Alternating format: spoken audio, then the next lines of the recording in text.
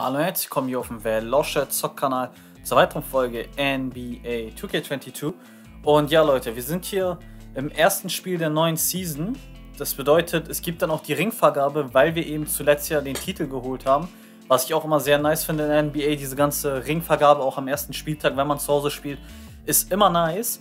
Und ähm, wir sind ja Richtung Road to 1K auf diesem Kanal, was einfach nur überkrank ist. Auf Studio sind wir auch Richtung 100. Und natürlich will ich dann irgendwie so ein 1000 Abonnenten-Special machen. Aber vielleicht sei eher kreativ und habt eine Idee, was könnte ich als 1000 Abonnenten-Special machen. Ich habe einige Ideen, ich habe auch schon mal auf Instagram gefragt, da kamen auch ein, zwei Ideen zusammen. Aber ich bin mir noch nicht sicher, was ich machen soll. Was, man kann vieles machen, aber ich weiß noch nicht, soll ich das machen, soll ich das machen? Und vielleicht hat einer von euch noch eine geile Idee oder so. Einfach mal unten in die Kommentare ballern, egal was euch so einfällt, gerne rein da. Und dann gucke ich mal, ob da was Cooles bei ist. Wir gehen auf jeden Fall rein ins Duell gegen die Utah Jazz mit Pierre Moncrief, Donovan Mitchell, Jaden McDaniels, Tobias Harris und Rudy Gobert. Zwei Franzosen unter anderem am Start bei den Jazz. Und jetzt gibt es natürlich auch gleich erstmal die Ringvergabe. Wo ich einfach sagen muss, das ist mit das Niceste. Ne? Gucke ich mir auch immer gerne an einfach. Quincy Billups das einfach geil, so dieses Feeling, ne? Da dürfen die alle feiern. Da sehen wir ähm, Dings Adam Silver und da gibt es den Ring. Wir sind die Champions, wir haben ein Monster-Team. Seth Curry auch noch mit am Start. Er wird in diesem Jahr wahrscheinlich eine etwas kleinere Rolle oder eine klar kleinere Rolle spielen. Letztes Jahr noch Starter, jetzt mit Macron und Quickly wird jetzt starten. Macron von der Bank da wird er wenig Spielzeit kriegen, aber wenn er gebraucht wird, darf er reinkommen. Auch er mit dem Ring natürlich. Bei Boogie Cousins sieht es auch ähnlich aus. War ein guter Bankspieler in den letzten ein, zwei Jahren. In diesem Jahr könnte er auch weniger Zeit kriegen, muss man halt gucken. Ne? Aber denke ich auch, dass er eher weniger spielen wird. Aber trotz allem ein guter Backup einfach, ne? sehr solide. Da gibt es den Ring für ihn, sehr schön. Für Boogie Cousins. Natürlich LBJ. Auch er mit einer neuen Rolle. Er war ja, ja Starter natürlich, hat den zweiten Titel mit Cleveland holen können. Die einzigen zwei Titel, die es jemals gab bei Cleveland, sind mit LeBron James erobert worden. Und er wird eventuell der beste Six-Man in diesem Jahr. Ich hoffe es mal. Eine ganz, ganz neue Rolle für den King. Kennt er so auch noch nicht. Franz Wagner letztes Jahr noch von der Bank kommt. Dieses Jahr soll er Starter sein unglaublich geil, immer wieder reingekommen in den Playoffs, immer wieder gerade auch in den Finals Shooting mitgebracht. Ein so wichtiger Teil dieses Teams geworden und ja, ein deutscher NBA-Champion. So viele haben wir ja nicht. Ich glaube, Nowitzki war bisher der Einzige oder gab es noch andere? Emmanuel Quickly, gleiches wie bei Wagner, kam von der Bank, hat Power gebracht. Auch er soll dieses Jahr starten, hatte den fetten Zahltag, 24 Millionen pro Jahr kriegt er jetzt. Und jetzt kriegt er auch noch seinen fetten Ring, ist auch noch ein paar 100.000, ich weiß nicht, ist der Ring über 100k wert, keine Ahnung, aber ein paar Tauis ist der auf jeden Fall auch nochmal wert. Also finanziell läuft es bei Quickly auch. Jared Allen, er hat gezeigt, wie wichtig er war. Im Jahr zuvor dachte ich, okay, sein Ausfall, ja, tut weh, aber dass er so fehlen würde, das hat man erst im letztjährigen Playoff-Run gesehen. Hat teilweise wirklich die Zonen dominiert, Wahnsinnsspieler. Einer derjenigen, der diese Ära mit eingeleitet hat, ne? Ist definitiv einer der wichtigsten Spieler auch in den nächsten Jahren. Darius Garland, unser Starting Point Guard, unser Ballführer, unser Go-To-Guy in Sachen Scoring. Eine unglaubliche Entwicklung. Man dachte vielleicht am Anfang, ja, Sexton wird er der Man, dann kam irgendwann Garland dazu und hat diese Cleveland Cavaliers komplett übernommen und ist eben als Starting Point Guard auch Champion geworden und als zweitwichtigster Spieler. Und der wichtigste Spieler dieser Franchise und dieser Ära vielleicht sogar, Evan Mobley der beste Two-Way-Player der Liga eventuell. Klar, es gibt noch einen Giannis, aber von Rookie-Season an dominiert, Wahnsinnsspieler, legt gute Zahlen immer aus, aber sein Impact muss man sich immer selber angucken. Und hier sehen wir das Team mit der Ringvergabe. Viele, viele Spieler auch einfach immer noch mit dabei. Der Kern ist zusammengeblieben, das feiere ich immer. Und hier sehen wir es, Cleveland Cavaliers. Boah, ist das, ist einfach von der Atmosphäre geil, ne? World Champion 224 das ist einfach geil an diesem NBA 2K-Spiel, dass die solche Momente haben. Gerne ein bisschen mehr davon an 2K. Gerne in so Playoff-Duellen ein bisschen mehr so Spannung, ein bisschen mehr, wow, jetzt ist hier was. Das würde die Atmosphäre noch mehr heben, ne? Wir sind hier in der Rocket Mortgage äh, Field Toast Arena. gegen die Utah Jazz jetzt hier der Start. Nochmal die Starting Fives habt ihr ja nochmal, die habe ich euch ganz am Anfang schon gezeigt. Und jetzt geht es natürlich auch rein, nachdem wir die geile Atmosphäre mitgenommen haben. Der Champion startet in die Opening Night der neuen NBA Seasons 24-25. Garland. Ah, verliert den Ball, okay. Erste Aktion im neuen Season gleich mal der Turnover an die 89 Moncrief. Stark von Mobley wieder. Jared Allen. Wagner. Allen stellte den Screen. Quickly. Allen stellt aber nochmal den Screen. Oh, offensives Foul, okay. Erste drei Aktionen der neuen Season, jeweils Turnovers.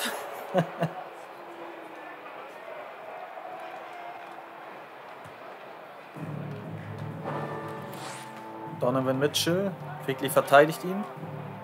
Harris. Oh, und der nächste Turnover.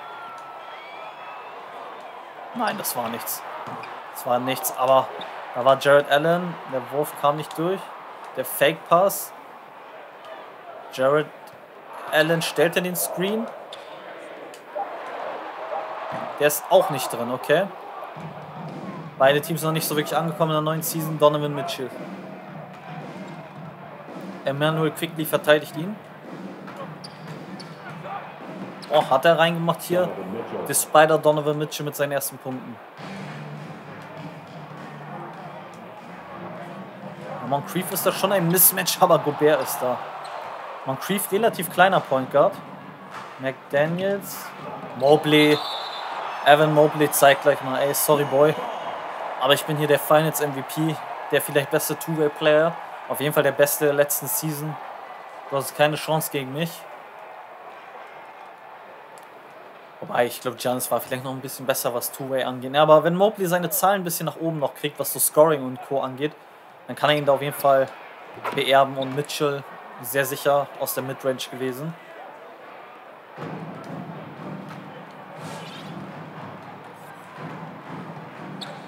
Ja, jetzt hier. Der Screen kam da. Ja, Mobley stalt. Oh, stark gemacht. Stark. Garland. Ich dachte eigentlich, ich spiele Pick and Pop mit Mobley. Aber dann ging der Garland so durch, dann ist halt auch Feierabend, ne?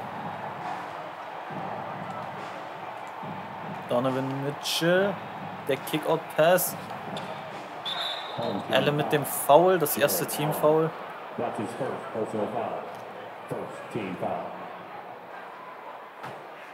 McDaniels.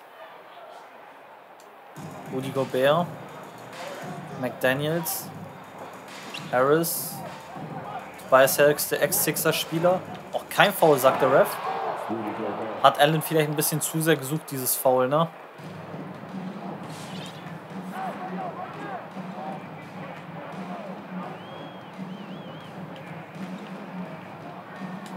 Ne, das war nichts. Auch wenn Moncrief vielleicht nicht der Größte ist.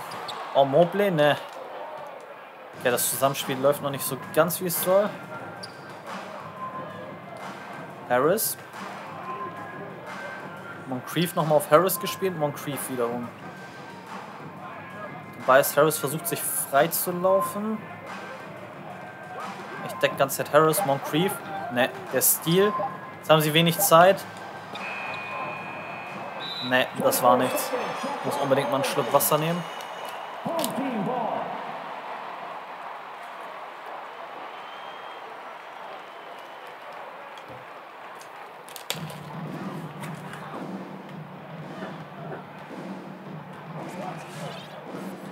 Die ISO. Moncrief dürfte eigentlich nicht mithalten. Ach, das war nicht gut wieder vom Timing. Moncrief spielt den ab auf Harris. Garland jetzt hier wieder gegen Moncrief.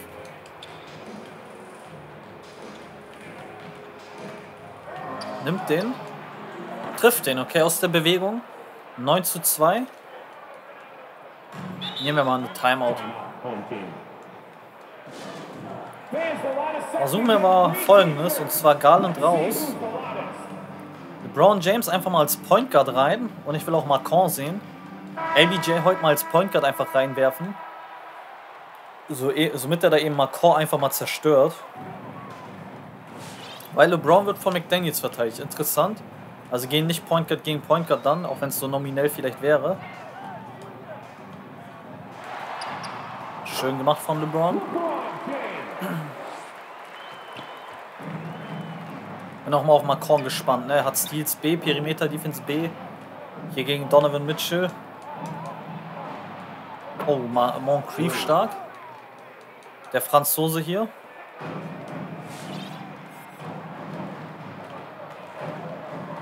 Daniels soll da LeBron stoppen, aber fault ihn da.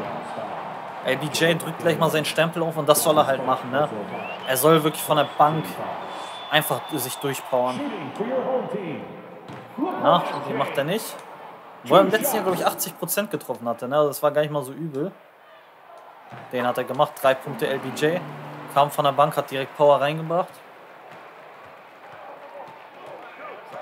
Macron gegen Mitchell. Mitchell gegen LeBron, schwierig. Es war Franz, ja. Ganz unnötiges Voll von Franz Wagner, muss nicht sein.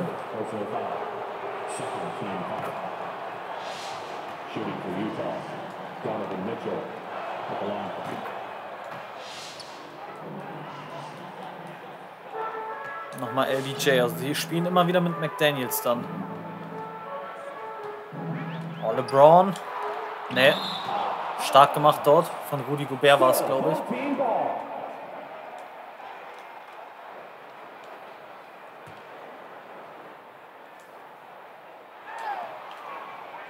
Moncrief gegen Macron.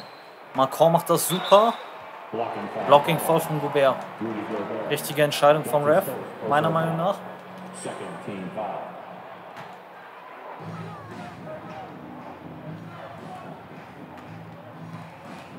Oh, der Stil. McDaniels immer noch am Ball. Machen ihn nicht rein. Wagner. Nein, so nicht. Ich wollte den auf LBJ spielen. Ja, gute Defense war das nochmal, ne? LBJ. Oh, Macron, äh, Moncrief mit dem Stil. Nächster Turnover dort. Boah, Mobley macht das stark.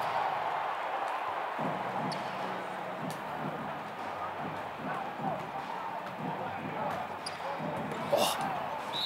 Okay, wir spielen nicht perfekt momentan, ne? Hier in dieser Opening Night. Liga für den Assist letztes Jahr 30,2 wie die drei, drittmeisten Assist. Ich wollte gerade drei sagen. Dreitmeisten. Mobley läuft sich frei.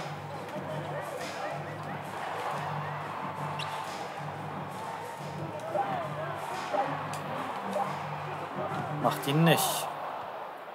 Utah mit einer echt guten Defense, ne? Donovan Mitchell. Aus der Bewegung trifft er. Boah, Utah killt uns komplett.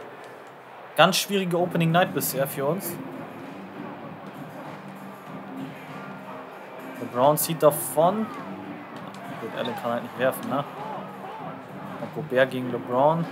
Screen wird gestellt.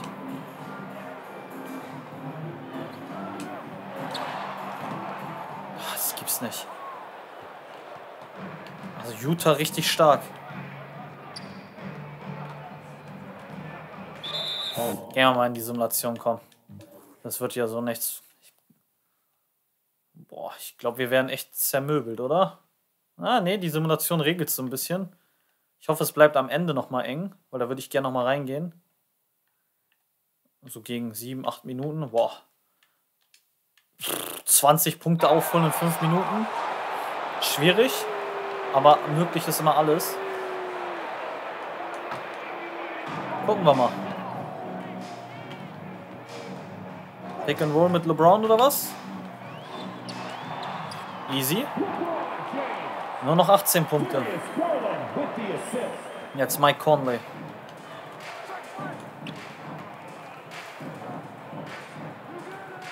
Conley weiter im Ballbesitz. Sucht er die ISO. Garland ist da dran. Ach, gut rüber gepasst. Er ist nicht drin, aber der Rebound von Gobert. Der Dreier ist auch nicht drin. Der nächste Rebound. Das darf eigentlich nicht sein. Der war gut contested. Jetzt ist es unser Ball. Franz Wagner. LBJ hat den, wird weggeblockt. Aber unser Ball. Wird weggeblockt, LBJ.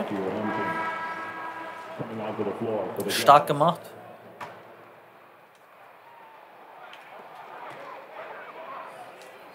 Ey, ach, ich hasse das. Ich habe längst gepasst, also längst gedrückt, aber wenn die ein Animation einhaken will, dann tut sie es halt, ne? Das ist halt immer nervig. Wir sehen Evan Mobley.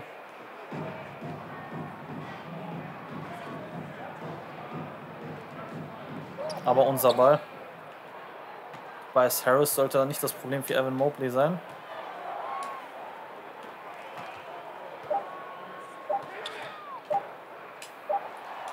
Ah, macht ihn leider nicht.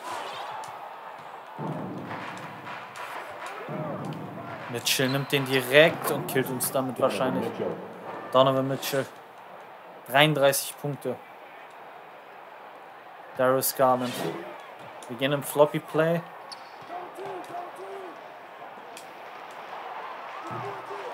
Ja. Gobert mit seinem zig Rebounds heute, ne? Harris. Oh. Stark von Jared Allen. Jetzt Darius Garland vielleicht mal. Gegen Moncrief sollte er sich doch durchsetzen. 17 Punkte Garland. Darius Garland heute mit 17 Punkten. Ganz ordentlich. Aber wir sind immer noch weit weg, ne? 19 Punkte. Doch, den macht er nicht. Manuel Quickly, jetzt hier Franz Wagner, spielt den nochmal ab und da ist Jared Allen. Zonenmonster. 17 Punkte. Es ist super schwer, aber nicht unmöglich, würde ich sagen.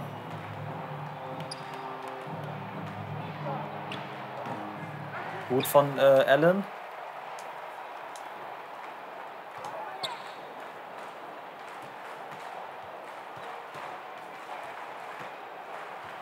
Evan Mobley. Ja. Mobley mit vier Punkten. Bisschen wenig gescored, ne? Leider. 15. Der Rudi Gobert jetzt Mitchell. Oh, Mobley stark. Was eine Defense von Evan Mobley. Franz Wagner spielt den auch nochmal ab, aber da war Moncrief wieder dran. Ne? Der ist echt so ein kleiner Stealer hier, der Franzose.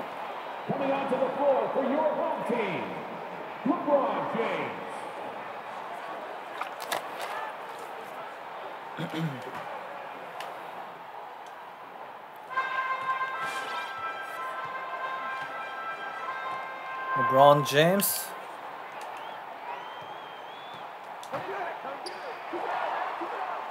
Jared Allen, ne? LeBron. Der war schwer. Hat er leider nicht getroffen. Mitchell. Donovan Mitchell. Macht er auch nicht rein. Quickly. Oh, der Pass auf Allen war super. Und der wird halt weggeblockt von Gobert. Und es. Oh, Allen ist ins Ausgegangen. Gut, das war das ist das Ende, leider. Leider das Ende. Utah zu stark. Double-Double hier von äh, Allen. Garland ganz, ganz schlecht ne, gespielt heute. LBJ mit 15 Punkten von der Bank, aber 0 von 5 Dreiern. Macron 13, dann Quickly, Franz Wagner und Co. Okay. Ja, Donovan Mitchell hat 33 und 7 überragend. Claxton und Co. Ne, Moncrief auch mit 3 Steals richtig stark. Bei uns hatte Mobley 5 Blocks und Gobert 5 Blocks, also auch zwei ja, Zonenmonster mal wieder. Ja gut, so ist das halt, ne? Dann gehen wir halt, wenn nicht hier irgendwas ist, können wir dann gleich vorgehen. Wobei ich nochmal kurz gucken will. Jared Allen würde jetzt schon seinen Vertrag verlängern. Jetzt schon noch einen Zwei-Jahres-Vertrag, ne? Und er würde den verlängern auf jeden Fall. Aber er hat halt noch zwei Jahre Vertrag. Da kann man noch ruhig bleiben, ne?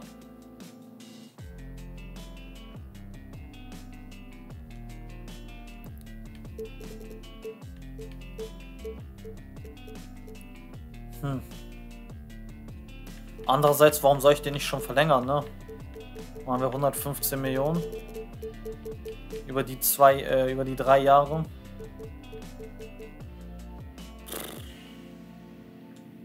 Gucken wir mal. Er hat es angenommen. Ich, ich habe ihm sogar ein bisschen zu viel gegeben, glaube ich, ne? Als er wollte, aber das ist erstmal egal. Hauptsache er bleibt, ne? Guckt euch das jetzt mal an. Quickly haben wir ewig lang und ihn hier haben wir auch ewig lang. Garland haben wir noch lang genug. LBJ haben wir lang genug. Äh, Hield, Macron, Nixon, Curry. Es fehlt dann eigentlich nur noch ein Mann und das Evan Mobley, beziehungsweise zwei Männer und Franz Wagner.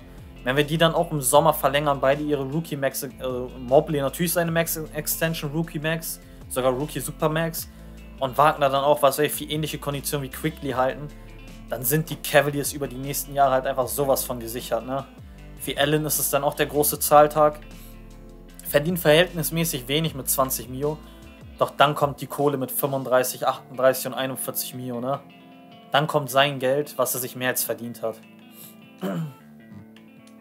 Wir gehen mal jetzt noch ein, zwei Wochen schon mal vor. Einfach um nur zu gucken, wie wir in die Saison starten. Ob wir auch erfolgreich sind oder eher weniger. Aber das sieht doch ganz ordentlich aus. Ja. LeBron James 26 Punkte von der Bank aus, 8 Rebounds, 4 Assists, 1 Steal. Super Quoten. 13 Freiwürfe verwandelt. Krass. Mobley macht seine Punkte. Buddy Hield von der Bank 12 gemacht. Macron hatte 8. Okay. Kyrie bei den Wizards mit 32 und 12. Jetzt hier die Hawks. Wir schauen mal, wie es gegen die Hawks wird. Ah, die Hawks scheinen uns zu besiegen, ne? Tatsächlich, zweite Niederlage im dritten Spiel. Garland mit einem Double-Double. Quickly bringt auch 18 Punkte. Mobley wieder ein schönes Double-Double. Mit 12. Wagner und von Hield und James kam etwas wenig von der Bank aus, ne? Young aber auch nur 19 und 11. Aber die hatten halt sehr, sehr viele Spieler, die boah, in Double Digits sind. 7, 8 Spieler auf jeden Fall. Die mehr als 10 Punkte, also 10 oder mehr gescored haben. Boah, die Bulls in dem ersten Viertel haben die uns weggehauen. Was geht denn ab? Alter, was geht denn ab? Wir verlieren schon wieder. Double-Double von Allen. Garland stark. Wagner kommt von der Bank so ein bisschen. Wow.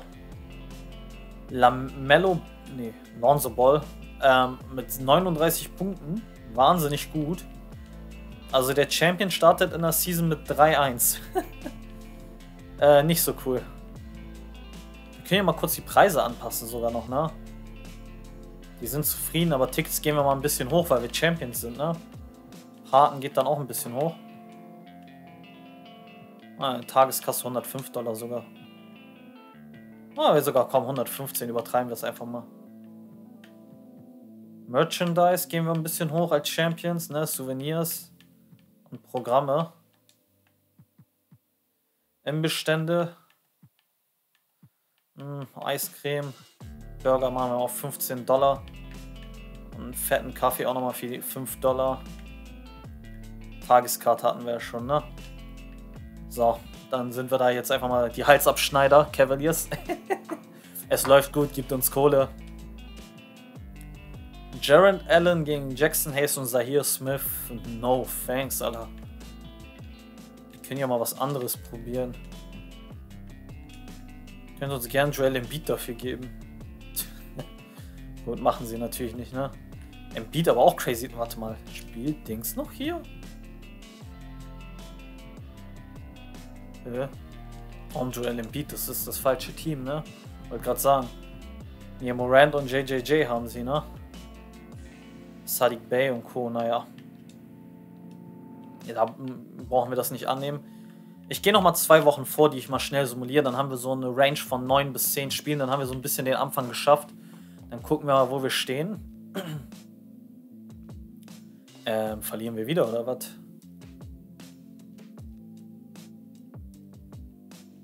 Ja.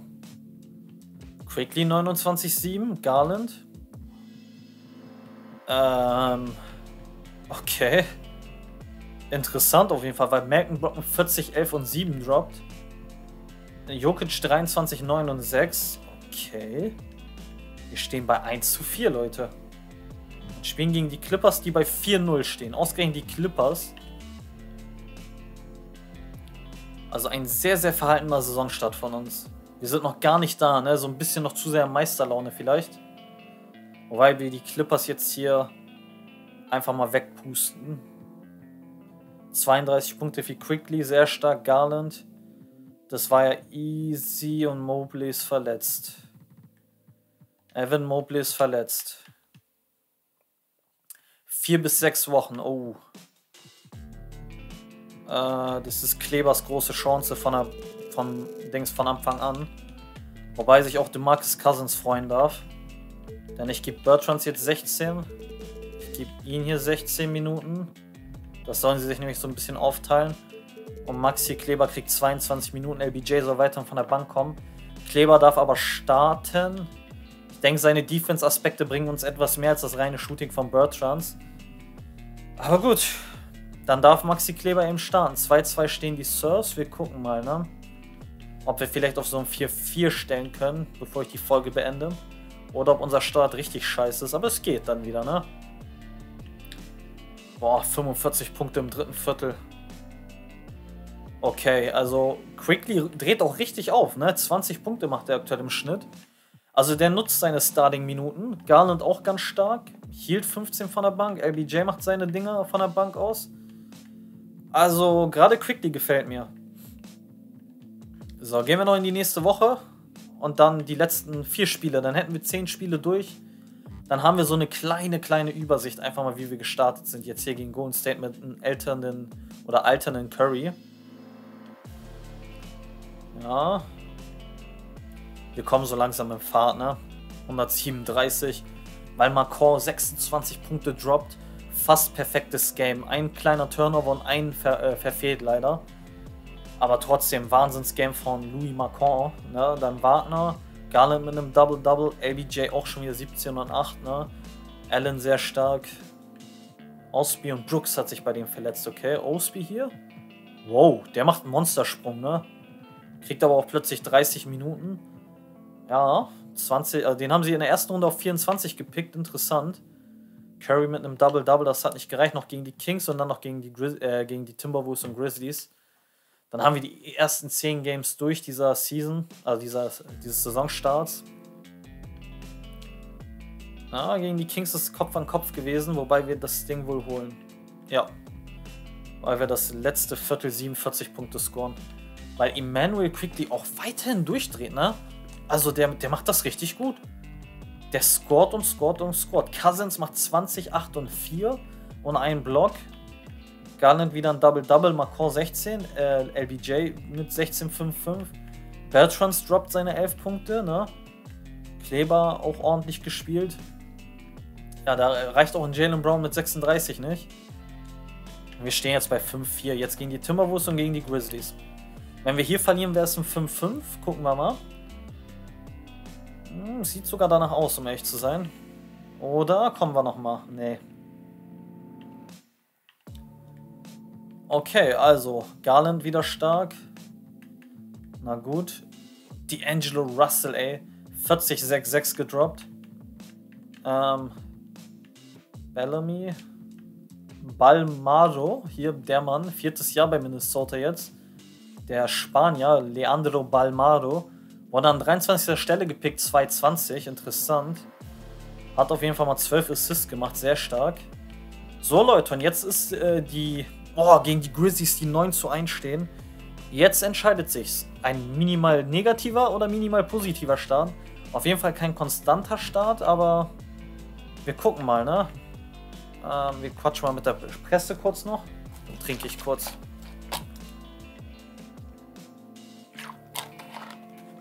Was hat Ihren an Ihrem Alltag als Jam am meisten überrascht?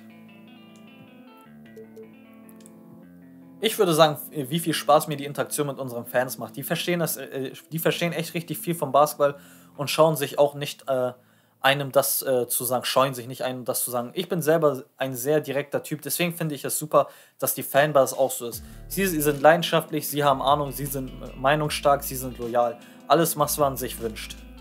Okay. Und jetzt die große Frage: Positiver Record oder negativer Record hier am Saisonstart? Auf jeden Fall mal eine Saison, eine Regular Season, die das erste Mal problematischer sein könnte. Weil natürlich auch so ein Start noch nicht so viel äh, sagt, ne? Und es sieht gut aus, oder es sah gut aus. Ja, sieht immer noch gut aus. Ja, unser Ding. Weil Quickly 22 droppt, weil Garland stark ist. Allen und Macron 17 droppen. LBJ mit einem Triple-Double, ne? 16, 12 und 11. Ganz, ganz stark. Morans 35 haben da auch nicht mehr geholfen. Ich will allgemein mal kurz was gucken.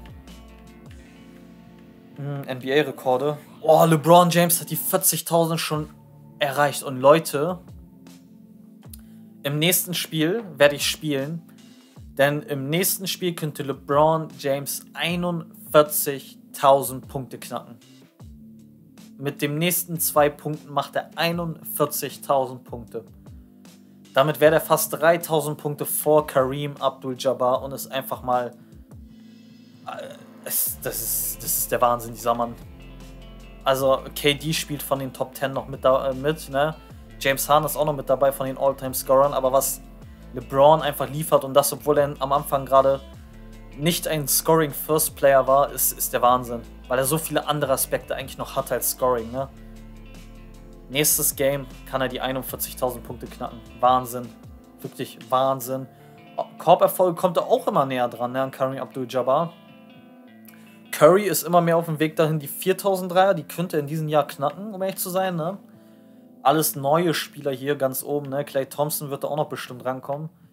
Freiwürfe ist auch LBJ kurz davor, Malone zu holen, ne? Also Moses Malone. Karl wird wahrscheinlich nicht mehr klappen. Bei den Rebounds, ist, da dürfte er nicht so ganz weit oben sein, ne? Da ist er. Wo haben wir dich denn hier? Auf Platz 25, Alter. Also auch hier könnte er vielleicht noch hochklettern, ne? Vielleicht kriegt der Mutombo ja sogar noch, dann wäre er in den Top 20. Ja, Assists muss man auch sagen, ne? Da kann er die Top 3 eigentlich auch noch erreichen. So unrealistisch ist das gar nicht, wenn er so pro Spiel 7, 8, 9 Assists macht. Äh, Blocks, gut, da wird man ihn nicht sehen. Der Steals kommt auch immer näher, ne? Der kann auch in die, kann er Jordan überholen. Und Minuten hat er schon lange, ne? Schon lange, lange. Der Wahnsinn. Drei Wurfquote, okay. Assists. Wir gucken nochmal hier kurz, äh, was Triple Doubles und so geht, ne? Gespielte Spiele. Okay, Parrish immer noch auf der 1. Wobei LeBron ihn diese Saison auch überholen wird, ne? 82 Spiele. Ja, den wird er überholen. Fouls. Charles Oakley hat man da auch. 40 Punkte Spiele. Da hat LeBron gar nicht so viele, ne? Luka Doncic ist jetzt schon auf Platz 8. Okay, das ist gar nicht so viel, ne? 69, wobei das auch schon ordentlich, ne? Und 50 Punkte. Ja gut, da wird man, da wird wahrscheinlich kein Mensch mehr Will Chamberlain kriegen, ne? Triple Doubles. Boah, ist ja kurz davor, Richtung Platz 3 zu gehen, ne? Wobei Jokic ihn auch sehr, sehr nah dran ist und Doncic wird wahrscheinlich am Ende der Karriere ganz oben stehen. Ich glaube, der wird Westbrook noch kriegen, ne? Aber nun gut, Leute, das war's auf jeden Fall. Seid in der nächsten Folge auf jeden Fall mit dabei. Wir gucken noch kurz auf der Tabelle. Wir stehen auf Platz 1, 2, 3, 4, 5, 6. Seid auf jeden Fall in der nächsten Folge mit dabei, wenn es dann gegen die Charlotte Hornets geht und wenn ihr dann live dabei sein könnt, wenn LeBron James seine 41.000 Punkte knackt. Euer Lausche meldet sich jetzt ab und bye bye.